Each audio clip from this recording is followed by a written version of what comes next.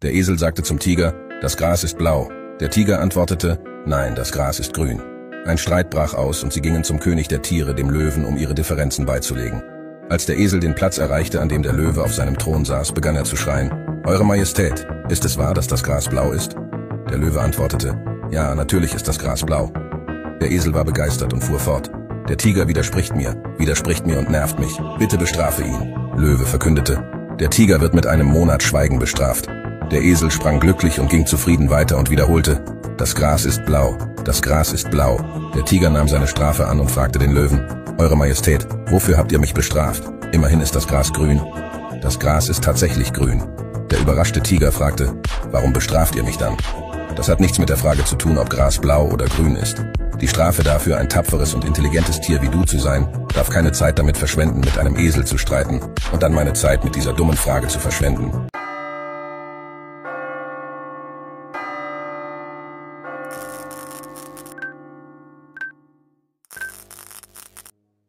Glück auf, ihr Lieben. Buch 5, ähm, ja, ich glaube, das ist das beste Buch von ihm, das er bisher gemacht hat. Die Auflösung, die Qualität, Wahnsinn. Auch die Themen, die in dem Buch drin sind. Und für alle Tartaria-Freunde, ja, wir haben auch eine Erklärung, warum sich Küstenlinien verschieben, warum ja, warum es die Eiszeit gab, warum es alte Gebäude gibt, die so gut erhalten sind. Nehmen wir mal die Pyramiden und warum sie auftauchen, warum die Sphinx Merkmale hat, dass sie im Wasser stand oder lange beregnet worden sind. Ja, alles finden wir in den Büchern von Vibes of Cosmos und ja, steigen wir, steigen wir ein. Hier ist ja der Einband. Da können wir schon mal gucken, was uns so ungefähr erwartet und ja, die physische Weltkarte, ne? die Eiszeit. Dann Pangea ist Terra Vista. Das freut mich schon ganz besonders. Da ähm, ja, hatte ich ja selber schon eine Theorie mal geäußert. Ich weiß nicht, ob ich das zu Video gebracht habe. Dann Frequenzen und Spektren. Was natürlich auch interessant ist, weil wir kennen alle die Lehren von Tesla, beziehungsweise, wenn wir ehrlich sind, Tesla war auch nicht ganz koscher und hat vieles von deutschen Wissenschaftlern oder Erfindern, ja, mehr oder weniger abgekupfert, aber das ist ein anderes Thema. Ähm, ja, man muss in Frequenzen und Schwingungen denken und ich glaube, das ist auch hier ein ziemlich entscheidender Punkt. Ja, dann die Bewegung der Planeten, ne? one field inside the other, also ein Feld im anderen und dann außerhalb des Doms. Ja, dann hat er hier noch in dem Buch eine, ja, eine Mondkarte reingebracht, die man mit 3D-Brille sich anschauen kann. Ja, dann haben wir ähm, Karten von allen Gebieten der Erde, sehen wir hier schon im Hintergrund angedeutet. Und die Karten sind, die gucken wir uns heute in der, in der ersten Folge an und die sind, die sind der Wahnsinn. Die sind einfach der Wahnsinn. Ähm, rein von der Qualität. Ja, dann wird es in dem Buch auch noch um Erdbeben und Vulkane gehen, Wind, Donner, ähm, Blitz, Hurricanes, Zyklone, ja, äh, Wet and Dry Fume Cycle, also nasse und drei, äh, nasse und äh, trockene ja, äh, Winde und Bewegung und ähm, Feuer. Dann geht es auch noch ein bisschen um die Mineralien. Also sehr, sehr interessant. Ja, hier können wir auch erkennen, auf dem zweiten Bild, was hier mit dabei ist. Ich versuche es mal ein bisschen größer zu machen. Jawohl. Ja, Epoch-Events und Timeline, also ja, epische Events in der, in der, in der Erdgeschichte und ähm, die Zeitlinie dazu. Das ist auch sehr interessant, weil hier kommen wir dann wieder auf das Thema Tartaria zurück, wobei man sagen muss, Tartaria ist ja nur ein Begriff für ja, alte Gebäude, die nicht zu erklären sind, Pyramiden etc. Ähm, in Wirklichkeit war Tartaria jetzt nicht so groß und nur weil irgendwo eine Karte existiert, wo Tartaria draufsteht und das ziemlich großes Reich war über Asien und ähm, Europa, heißt das nicht, dass das ein Weltreich war. Ähm, nur mal als Beispiel, sie erklären immer, dass es überall auf der Welt die gleichen Gebäude gibt. Ähm, das ist durchaus richtig, ist auch dem zu erklären, wenn, wenn irgendwo ein Architekt berühmt bekannt ist und ich denke mal, es wird nie so viele gegeben haben in den letzten 200, 300 Jahren, die sowas zustande gebracht haben oder länger. Kann es durchaus sein, dass die Gebäude in verschiedenen Kontinenten auftauchen, aus dem einfachen Grund, dass die Architekten geliehen werden. Aber auf der anderen Seite könnte ich genauso gut unzählige Bilder von verschiedenen Regionen der Erde rauskramen, wo die Gebäude komplett unterschiedlich aussehen. Das Einzige, was ähm, ein Stück weit darauf hindeutet, ist, sind die Pyramiden, die wirklich sehr gut überall verteilt und versteckt sind. Ne, da haben wir die bosnischen Pyramiden, ganz bekannt, kann ich jedem nur empfehlen, da mal hinzugehen. Ähm, wirklich sehr, sehr interessant, bevor sie das komplette Areal dort schließen. Ja, sowas ist dann äh, eher schwer zu erklären, aber das ist wieder zu erklären durch Vibes of Cosmos, denn die Pyramiden werden ja, 13.000, 26.000 Jahre alt sein, sowas in der Richtung.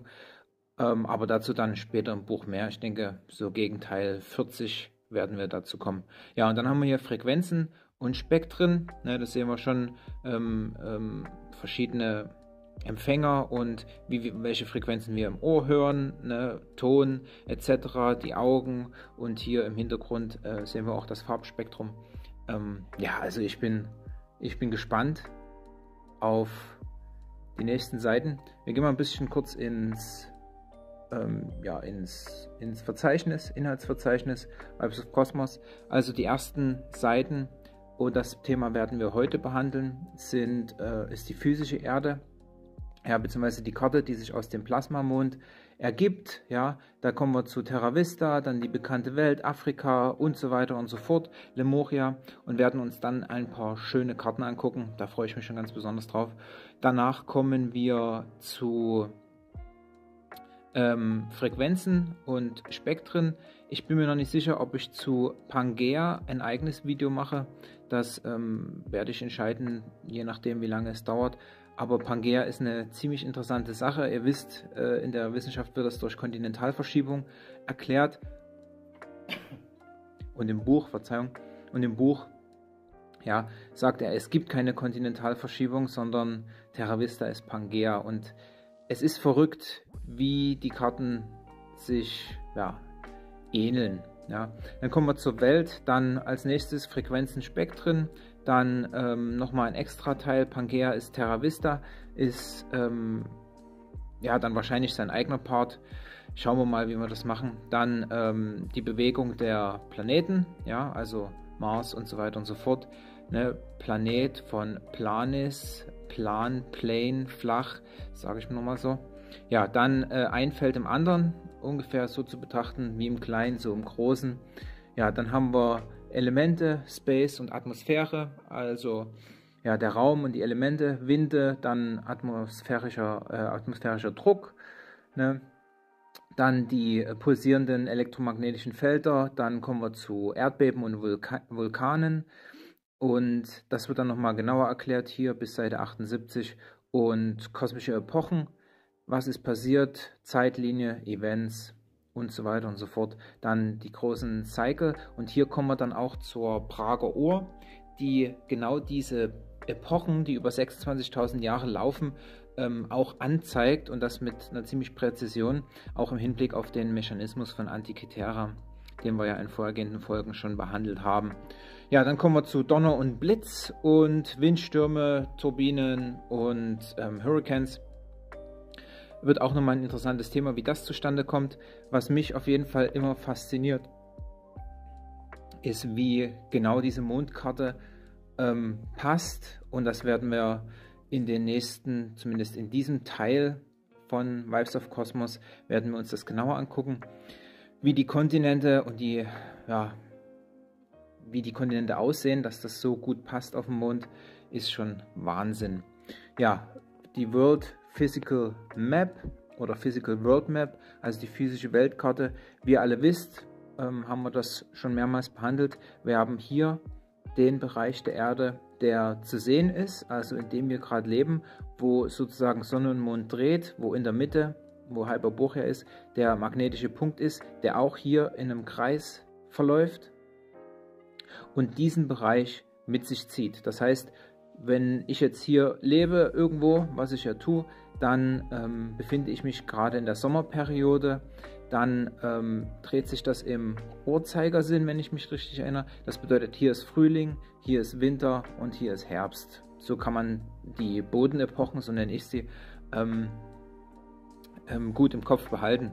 So, und umso mehr Jahre vergehen, gehen wir 13.000 Jahre in die Zukunft, also ein genauer ein Kreis sind 26.000 Jahre. Gehen wir einen äh, 13.000 Jahre, also die Hälfte in die Zukunft, dann wäre der Bereich, wo sich Son Sonne und Mond drehen und der ähm, magnetische Nordpol hier drüben und man hätte hier sozusagen eisfreie Welt. Und damit ist auch zu erklären, warum ähm, es alte Gebäude gibt, die so gut erhalten sind. Nehmen wir mal die Pyramiden, weil sie wahrscheinlich aus, einem, aus einer Zeit stammen, die circa 13.000 bis 26.000 Jahre in der Vergangenheit liegt. Ja?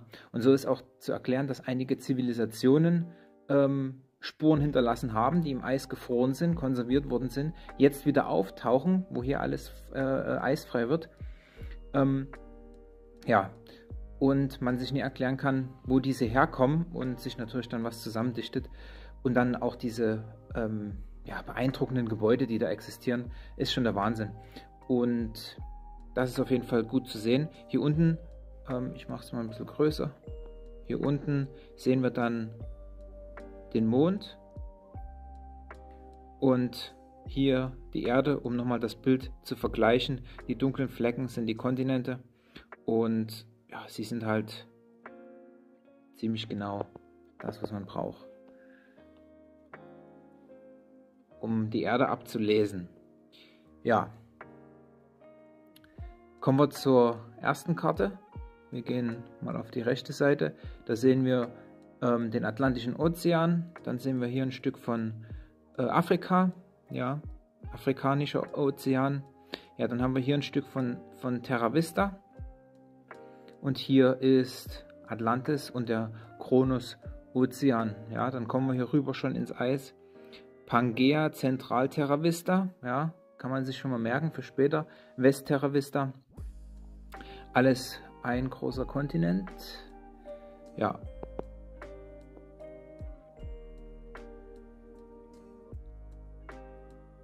Kommen wir zum nächsten Bild. Ja, also ich muss sagen, die, die Qualität der Karten ist wirklich sehr, sehr gut. Was mich sehr beeindruckt. Ja, Australien, Lemuria, Galicia. Es sieht zwar hier ein bisschen verschoben aus, das liegt aber daran, da wir ja nur die Globuserde gewohnt sind. Und dann kennen wir die Gliesenkarte. Und die Gliesenkarte ist ja auch nicht das äh, reale Abbild, sondern die Gliesenkarte ist ja auch ja, verschoben, zurechtgerückt ähm, aufgrund der, der, der, Karte, ja, weil es einfacher gemacht werden musste. Daher ist die Gleason-Karte zwar ein, eine schöne Standard-Karte, an der man sich orientieren kann, aber die wirkliche Karte, ja, die sehen wir jede Nacht da oben. Sehr interessant. Und hier ist auch der, der, der Grund, wo sich zum Beispiel Knopfloch und ich, wir unterscheiden uns ein bisschen, so wie ich das bei Knopfloch verstanden habe, er sagt, dieses Abbild vom Mond ist ähm, ein Abbild aus vergangener Zeit und zum Beispiel Atlantis und Lemuria sind untergegangen. Ich bin aber der Meinung, dass diese Kontinente weiter existieren, man nur nicht dahin darf, so ähnlich wie bei der Antarktis. Ähm, wenn man sich die Flug- und Schiffsrouten genauer anguckt, dann laufen sie immer drum herum. Ja, ich hatte jetzt jemanden im, im Kommentar, der hat gesagt, jemand ist da lang und da gab es keinen Kontinent. Ja, ähm, kann ich jetzt nie beurteilen, ob das stimmt. Das Einzige, woran ich mich festhalten kann, äh, sind die Schiffs- und Flugrouten, die halt immer an diesen Kontinenten vorbeigehen. Also es gibt keine Schiffs- und Flugroute, die über diese Kontinente geht. Das hatten wir mal in einem, in einem vorhergehenden Video bereits besprochen. Aber interessant ist es auf jeden Fall, wie sich das Bild der Erde ergibt. Ja, und auch wie die Kontinente eine, eine ähnliche Form haben. Ne? Am, am beeindruckendsten finde ich den Punkt ähm, Europa. Dann haben wir hier oben die skandinavische Halbinsel, die, die ja, englische Insel, die großbritannische Insel. Hier die, ich glaube, liberische Halb Halbinsel ist das ja, glaube ich, wenn ich mich richtig erinnere. Jedenfalls Portugal, Spanien. Und das ist schon sehr nah dran an dem, was wir auch auf dem Globus sehen. Und das ist dann für mich schwer nachzuvollziehen, dass das ein Zufall sein soll. Ja, hier kommen wir zum nach Afrika. Interessant ist hier, ähm, hier haben wir den, den Norden, ja, weil der Norden ist hier in der Mitte, unten auf der Mondkarte. Hier haben wir Afrika und ich muss sagen, die, die Qualität der Bilder ist Wahnsinn. Ähm, ich nutze auch ein neues ähm, Recorder-Programm, weil es einfach besser zu bedienen ist ähm, als mein Linux-Programm. Da ist noch ein bisschen Nachholbedarf, was das angeht, aber die Qualität ist der Wahnsinn. Ja, Afrika sehen wir hier, Europa, Asien, Indischer Ozean. Hier unten haben wir Madagaskar. Wahnsinn, Wahnsinn. Ja, sehr schöne Bilder. Ähm, gehen wir gleich zum nächsten. Hier haben wir äh, Lemuria, Asien, der Zipfel von Afrika, den kennt ihr auch. Ja, also es ist, wenn jetzt jemand kommt, der davon keine Ahnung hat, und da gibt es einige, und der sieht die Mondkarte aufgearbeitet wie die hier, er würde, wenn er das nicht wüsste mit der Mondkarte, sofort sagen, das ist die Erde. Ja. Er würde es zwar als Fantasiekarte bezeichnen, aber ähm, für ihn wäre das die Erde, da die Kontinente wirklich ähnlich aussehen. Hier sehen wir Indien, hier unten, dann hier unten Südostasien, geht runter nach Australien. Also es ist wirklich in, in, eine Karte und für den, für den Neuling ist es so nah dran an der Wahrheit, dass er durchaus sagen könnte, das ist äh, die Erde, die hier abgebildet ist. Und da stellt sich die Frage, kann es Zufall sein, dass ja, die Karte auf dem Mond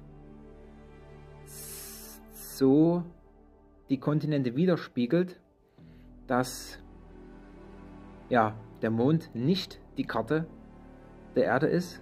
Ist das überhaupt möglich? Meiner Meinung nach nicht. Also hier ist es ganz einfach, es ist einfach nie möglich, dass das reiner Zufall ist. Ähm, man sich überlegt hier, die arabische Halbinsel ähnlich mit dem, mit dem Kanal, ich weiß nicht wie er heißt, dann der Zipfel, wo Somalia ist, in Afrika. Ist das Zufall? Ist das einfach nur Zufall oder was ist da los? Ja. Ähm, der Autor des Buches hat ja die Karte sozusagen die Kontraste geändert und über die Kontraste ist er auf die, auf die Kontinente gekommen. Und hier haben wir den Pazifik, Pazifischen Ozean. Ne, hier sehen wir Lemuria, und oben Asien und mit den, mit den Höhen, die waren auch ablesbar. Das hatten wir in der vorgehenden Folge. Konnte man Berge, Täler etc. Ähm, auch ablesen. Das hat er hier in diese Karte übertragen. Und ja, die Karte wirkt, wirkt wunderbar, wunderschön. Hier sieht man das Eis, hier ein bisschen Eis. Das äh, Wasser war ja auch zu erkennen auf der Mondkarte, je nachdem, welche Verfahren man anwendet. Hm. Ja, auch dieses Gebirge in Südamerika kennen wir alle. Ähm, Peru etc. Also für mich kann das äh, kein Zufall sein. Dann haben wir hier Nordamerika, hier drüben Alaska. Also ähm, ja, wenn, wie gesagt, ich, ich kann schwer, schwer glauben, dass es Zufall ist und bin inzwischen an dem Punkt, wo ich sage, es kann keinen Zufall geben und ich glaube auch nicht so sehr an Zufälle. Ja, dann haben wir hier Westafrika, da geht es rüber nach Atlantis. Hier ist am Ende nichts weiter, ähm, außer Atlantis. Da ist die Frage, ob Knopfloch recht hat oder ich oder beziehungsweise der Autor des Buches, weil ich glaube, er ist auch der Meinung, dass die Kontinente immer noch existieren, ähm, Atlantis und ähm, Lemuria. Ja, dann kommen wir hier ins Eis. Ja, hier sind wir ziemlich nah am Eis und ja, wie gesagt, das, das die, der antarktische Vertrag, dass niemand dorthin kommt. Ja. Jetzt muss man sich mal genau überlegen, wo in der Welt haben alle Länder etwas zugestimmt, einen Vertrag, wie auch immer. Nur in dem antarktischen Vertrag haben alle Länder der Welt zugestimmt. Wo sind sich die Länder überhaupt mal einig, was das angeht? Ähm, Habe ich noch nie irgendwo gesehen, aber hier sind es, dass keiner dahin darf. Das muss mir jemand genau erklären. Ja, dann sind wir hier äh, in Westafrika ne? und hier haben wir schon einen Teil von Pangea, der herüberragt. Ähm, ich muss sagen, die, wie gesagt, ich bin immer wieder begeistert von der, von der Qualität. Ne? Und auch auf dem Mond sind die unterschiedlichen Höhen zu erkennen. Ähm, er hat, wir haben auch in, dem, in, in einem vorgehenden Teil hatten wir das mal besprochen, dass die Höhen und die Höhenunterschiede komplett erkennbar sind. Man weiß sozusagen, welches Land unterm Wasser ist und welches nicht. Ähm, ja, für mich Wahnsinn. Ich bin immer wieder begeistert von diesen, von diesen Karten. Hm, hier haben wir den afrikanischen Kontinent, ne, Südafrika, dann Zentralafrika. Ja, Flüsse sind, dürften auch zu erkennen sein. Jawohl, hier geht einer lang. Hier haben wir auch noch Flüsse und Wasser, Wassermassen. Das hier oben, ist es der Nil? Könnte der Nil sein. Ist auf jeden Fall Wahnsinn. Ja, hier sind wir äh, in Ostafrika. Hier haben wir Somalia, ein Stück der arabischen Halbinsel, müsste Saudi-Arabien hier sein, wenn ich mich richtig erinnere. Und der Kanal, der hier reingeht. Ähm, was für ein Zufall. Allein diese, dieser Bereich mit Afrika und Madagaskar, allein dieser Bereich, was, was für ein Zufall müsste das sein, dass auf dem Mond so eine Formation zu sehen ist, die genau dem auf der Erde entspricht. Ähm, und, die, und der Mond ist keine Karte der Erde. Das, das ist für mich ähm, unwahrscheinlicher, als dass der Mond die Karte ist. Und daher bin ich auch ja, ziemlich überzeugt von der Mondkarte. Aber ich lasse mich natürlich auch gern vom Gegenteil überzeugen, denn ich war mal ein, ähm, ja, ein Globus-Freund und habe so ziemlich jede Dokumentation, Bücher etc. gelesen. Ich habe mal eine viereinhalb Stunden Dokumentation über die Lichtgeschwindigkeit mir angeguckt mit mathematischen Formeln ähm, und fand das super spannend. Habe mich mit allem im, im, Universum, Astronomie, Gravitation etc. beschäftigt. Ähm, ja, bis ich dann irgendwann zu dem Schluss gekommen bin, irgendwas haut hier nicht ganz hin. Vor allem, wenn es dann darum geht, dass sie in, ich glaube, drei Jahren sechsmal zum Mond geflogen sind, seitdem nicht wieder und meinen, sie hätten die Technik nie. Derweil ist das Raumschiff im Museum. Dann habe ich mir das Raumschiff angeguckt und musste feststellen, das sieht nie aus wie ein Raumschiff, was, was durch den von NASA ähm, ähm, ja, erst kürzlich entdeckten, in Anführungsstrichen, äh, wenn Ellen radioaktiven Gürtel durchfliegen kann. Und als die Astronauten gefragt worden sind, äh, haben sie gemeint, wir sind da einfach durch. Wir wussten nie davon, wir sind einfach durch. Ähm, ja, ist für mich auf jeden Fall sehr, sehr witzig. Ja, ich möchte nur im Kopf behalten, dass, oder dass ihr im Kopf behaltet, das hier ist das Abbild des Mondes, die Karte vom Mond, nur der Kontrast wurde geändert und ähm, die niedrigen Lagen wurden grün eingezeichnet und so höher die Lagen, die auch am Mond erkennbar waren, wie im vorgehenden Teil mal äh, oder einen der vorgehenden Teile festgestellt, ähm, eingezeichnet. Und dann kommt man auf diese Kontinente. Hier haben wir die Liberische Halbinsel. Falls ich hier falsch liege, äh, lasst mich wissen in den Kommentaren. Aber ich glaube, das war Liberische Halbinsel. Ähm, Portugal, Spanien, dann haben wir diese Konstellation hier mit Italien, der Stiefel, dann äh, Korsika und Sizilien. Ähm, wie hoch ist die Wahrscheinlichkeit, dass das auf dem Mond zufällig so ist, vor allem in dieser Masse? Island, Island, Skandinavien, Großbritannien und dann haben wir hier Europa. Hier haben wir die Alpen. Also, wie gesagt, für mich einfach nicht nachzuvollziehen, dass es da ja, noch Zweifler gibt, sind wir mal ganz ehrlich. Bei Asien wird es auch sehr interessant. Hier haben wir das Hochland von Tibet. Man sieht es an der Farbe, umso höher, umso mehr geht es in dieses ja, milchige, milchige äh, Orange über. Ähm, ja, dann haben wir hier Indien, die indische Halbinsel, Südostasien, Thailand, Philippinen. Und hier sind wir Sibirien und natürlich hier Tibet, das Hoch, äh, Hoch, die Hochebene. Also wie hoch ist die Wahrscheinlichkeit, dass das alles genau so passt auf dem Mond? Also ja. Dann haben wir hier ein, eine Insel, die ich nicht kenne. Sudarsana. Sudarsana ist mir neu. Ähm, weiß nicht, ob das nur auf dem Mond zu sehen ist ähm, und wir diesen Kontinent nicht kennen oder ob der da ist. Keine Ahnung. Lasst mich wissen in die äh, Kommentare, ob Sudasana wirklich existiert ähm, auf den bekannten Karten oder ob das auch so ein, ja, ein Landstück ist, was ja, mehr oder weniger vor uns verheimlicht wird. Ja, dann kommen wir nach Australien und schauen uns das an. Oben haben wir die, die Inseln von Philippinen. Ja, und hier kommen wir dann nach Australien war auch die kleine Insel, die, ähm, ich glaube, in der Nähe von Melbourne müsste das sein, oder? Melbourne ist hier. Äh, Australien kenne ich mich nicht so aus, ähm, bevor ich was Falsches sage.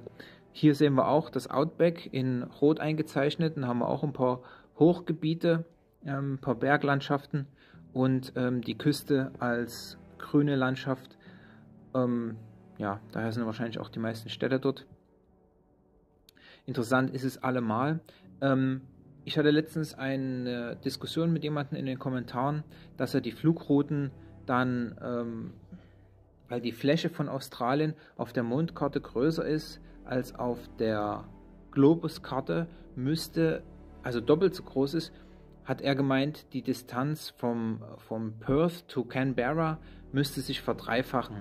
Das ist aber ähm, ja, nicht ganz nachzuvollziehen, denn wenn sich die Fläche vergrößert, ähm, ändern sich die jeweiligen Distanzen von A nach B nur, ähm, nur, nur ein Stück weit und ähm, je nachdem, in welche Richtung der Kontinent größer ist, sind auch die Distanzen anders. Nehmen wir mal an, der Kontinent, das komplette Stück ist das Stück, was größer ist und was Australien doppelt macht. Das bedeutet trotzdem, dass von Perth to Canberra die Distanz gleich ist. Also die Argumentation ähm, hat da nicht ganz hingehauen, aber ähm, ja, so ist das bei solchen Gesprächen, vor allem wenn man zwei Karten miteinander vergleicht, man kann die Globus-Karte und die Karte der flachen Erde vom Mond, äh, kann man nicht wirklich miteinander vergleichen, sondern ähm, man kann die eine oder die andere nur als gegeben ähm, nehmen.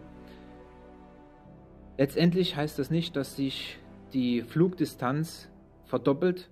Ne? Sie wird ein bisschen größer sein, aber ähm, ich hatte es auf dieser Karte angelegt und zwar ähm, ungefähr. Wie gesagt, es ist schwer, schwer nachzuvollziehen. Wir hatten die Karte mit den, mit den Kästchen. Auf den Kästchen war, äh, die Kästchen waren im letzten Video, im letzten Teil vom vierten Buch, wusste man genau, wie lang ein Kästchen ist. Also habe ich geschaut, wo ungefähr Canberra ist, wo ungefähr Perth ist und habe dort ähm, ja, die, die Distanz über die Kästchen gezählt und bin auf knapp 4000 ähm, Kilometer gekommen auf der normalen Route wird gesagt, es sind 3100, 3200, wenn man sich das mit Fluggeschwindigkeit berechnet.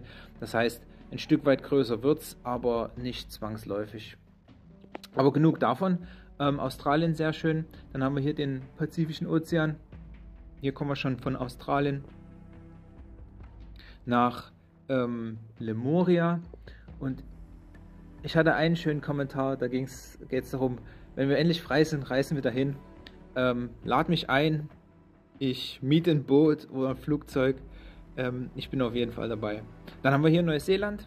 Auch sehr schön zu sehen. Ähm, die beiden Inseln. Hier das Hochland beziehungsweise das Gebirge, was auch auf dem Mond abzu äh, abzulesen ist, ist, wie gesagt, Wahnsinn. Wahnsinn. Ja, dann kommen wir zur anderen Seite ähm, von Lemuria. Da sind wir wieder bei äh, Südostasien. Hier haben wir Japan, die Insel auch wieder ja, eins zu eins ablesen, abzulesen am, am Mond. Da muss man sich wirklich die Frage stellen, Zufall. Aber ja, dann Alaska. Und hier kommen wir zum amerikanischen Kontinent. Ähm, ja, verrückt, verrückt, verrückt, verrückt. Ich bin begeistert von diesem Buch. Ja, hier haben wir Lemuria.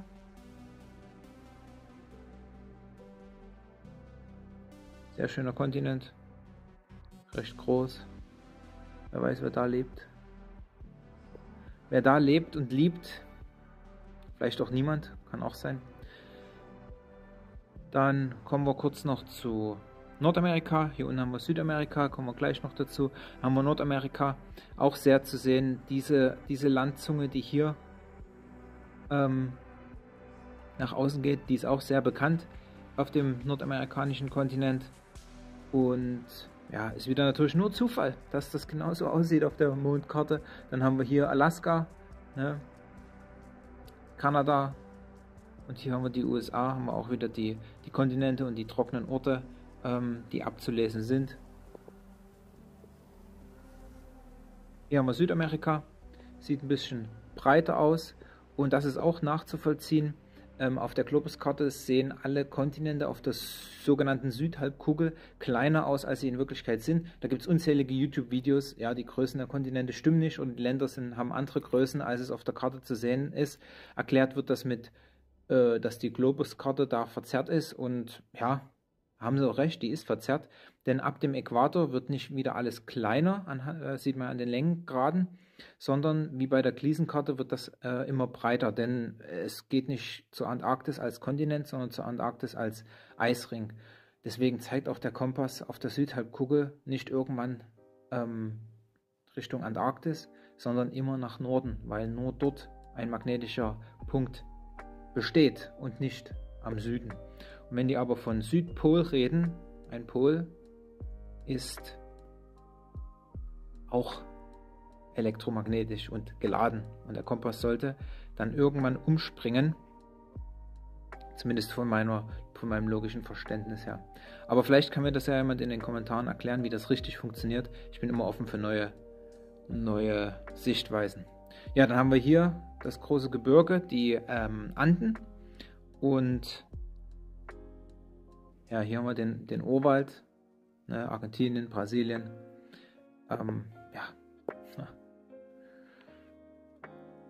So, dann kommen wir hier zum südöstlichen Pazifischen Ozean. Da haben wir Lakach, würde ich sagen. Dann Galizia und Lemuria. Ja, auch noch ein paar schöne Inseln. Wie gesagt, ähm, wir haben da, wir haben da wirklich einiges zu erkunden. so, jetzt haben wir hier Hyperborea, Grönland, Nordamerika, so wie es sozusagen um das Zentrum aussieht. Das Zentrum liegt hier in der Mitte und ähm, zumindest zur Zeit. Und wie gesagt, wandert und wandert. Ihr habt alle schon vom Polsprung gehört. Das wird genau diese Wanderung sein. Ja. Ähm, Hyperborea sieht man hier auf der Mondkarte Eisfläche, Eisfläche, nicht ganz genau. Und hier auch Eisfläche und hier ein bisschen ähm, Kontinent. Jetzt ist die Frage, man könnte ja relativ schnell feststellen, ähm, ob die Karte eine aktuelle Karte ist oder ein Abbild aus der Vergangenheit, ähm, in dem man diese Landmassen findet. Ich meine, so weit weg sind sie nicht. Ne? Wenn, wir, wenn wir mal genau gucken, hier sind wir, haben wir die, die hier müssten wir die Küste von, von Polen und Deutschland haben. Wenn ich mich richtig. Ach nee, Moment. Die ist hier hinten. Dann ähm, ja, gehen wir nach vielleicht Königsberg ja, von dort aus nach Norden. Also die Russen wissen es vielleicht. Man könnte auch von Alaska hier rüber gehen oder eben von Grönland.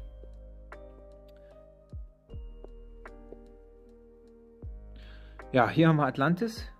Ähm, ich finde es auch schön.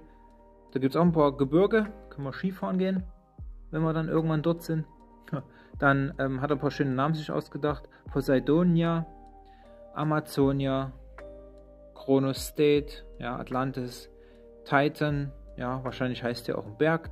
Titan, ähm, Asan, North Atlas, ähm, Ogygia, schwer für mich zu übersetzen, und Sea of Sargas, oder Sargas, ähm, Cy Cyclops, Pleiades, ja. Ich habe mal gehört von jemandem, mit dem ich mich unterhalten habe, da ging es um die Aliens, um die Plejaden etc. Daher in unserer Ansicht hier gibt es ja die Aliens nicht, die irgendwo auf welchen Planeten hocken und dann herkommen. Ähm, aber die Plejaden oder andere Völker, humanoide Völker, wie auch immer, könnten ja auf anderen Kontinenten, jenseits des Eisrings oder jenseits der ähm, uns bekannten Gegend wohnen, auf unserer Erde oder auf einer der anderen Erden, die weit hinter dem großen Eisring der Gesamterde liegen. Und diese könnte man vielleicht auch am Himmel erkennen, zumindest die, die innerhalb unserer Erde sind, kann man ähm, erkennen. Und wer weiß, vielleicht ist ja dieser Ort ähm, im Himmel zu sehen. Und wenn wir in den Himmel zeigen, da kommen die Plejaden her, was wir wirklich meinen ist, sie kommen von diesem Teil der Erde. Ähm, nur so eine Vermutung von mir. Ja, gehen wir mal in den, in den Eisteil über. Ja, hier ist Atlantis. Jetzt gehen wir weiter nach, ja, nach, nach rechts, nach Süden, wenn man so will. Und hier sind wir dann bei West Terra Vista. Also hier haben wir den Teil vom Mond. Pangea, Zentral Terra Vista. Hier sind wir noch Atlantis und hier gehen wir Richtung Süden, in diese Richtung.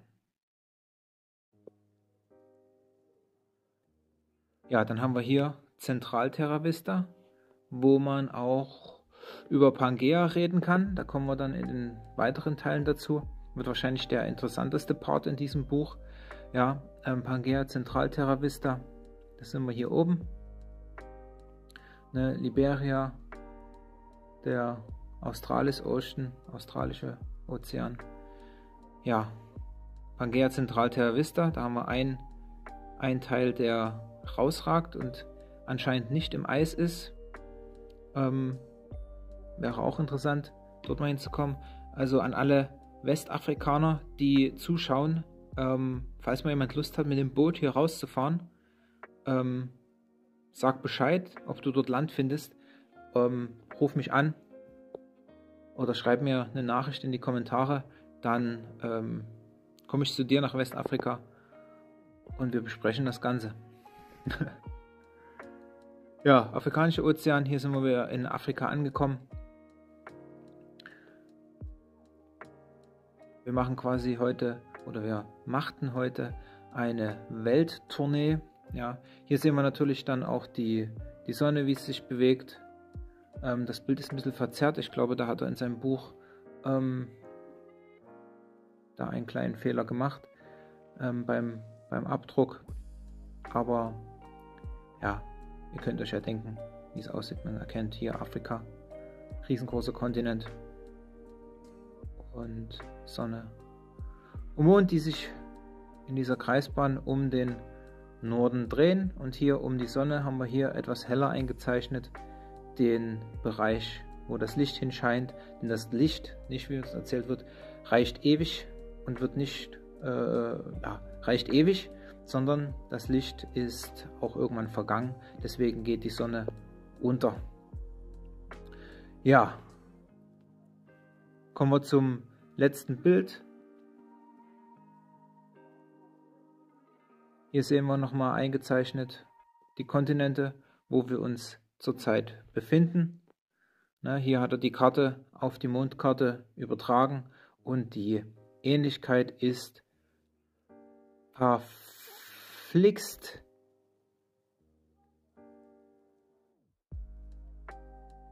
Ähnlich. Verflixt, genau, ich würde sogar sagen 1 zu 1 ähm, übertragbar. Und hier wird halt deutlich, es kann kein Zufall sein. England oder Großbritannien, die arabische Halbinsel äh, äh, Saudi-Arabien, der Zipfel Somalia ist selbst hier zu erkennen. Also wer mir hier noch erzählt, dass das Zufall ist, ähm, keine Ahnung. Der hat wahrscheinlich nie alle Teile geschaut. Ja, damit soll es das gewesen sein. Ich hoffe, ähm, es hat euch gefallen. Hier gab es nicht viel zu übersetzen, daher bin ich mal mit euch zusammen wieder durch die Bilder durchgegangen, um euch das zu zeigen. Wie gesagt, für mich ist das hier keine Frage mehr, was der Mond in Wirklichkeit darstellt und was auf dem Mond in Wirklichkeit zu sehen ist. Ähm, es ist einfach zu verblüffend ähnlich und ihr merkt vielleicht selber, ich bin, mir fehlen so ein bisschen die Worte, wenn ich das hier so sehe, weil die Ähnlichkeit so frappierend ist. Ist der Wahnsinn. Ja, das soll es von diesem Video gewesen sein. Schaut mal in die Videobeschreibung. Ich würde mich freuen, wenn ihr mir bei, bei mir Coffee ähm, ja, was da lasst. Damit könnt ihr dem, den Kanal und mich unterstützen. Ähm, ja, ich kaufe das Buch.